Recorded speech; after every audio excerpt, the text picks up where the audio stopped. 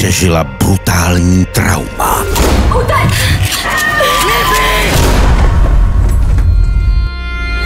Váš bratr šel na 28 let do vězení. Jenže po letech Byl to ten největší justiční omyl všech dob. Zajeďte za Benem. musí opět oživit vzpomínky Vím, že jsi je zabil. Ne, nezabil. a odhalit pravdu.